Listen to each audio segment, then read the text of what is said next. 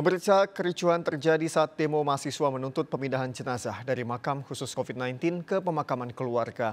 Mahasiswa yang memaksa masuk gedung DPRD Sulsel terlibat saling dorong dan dikejar polisi yang mengamankan jalannya aksi.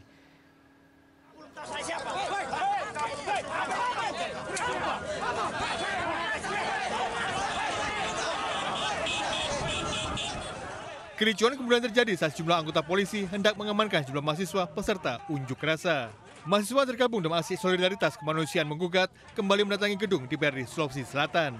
Polisi akhirnya mengejar mahasiswa yang sebelumnya menuntut bertemu dengan anggota DPRD Sulawesi Selatan.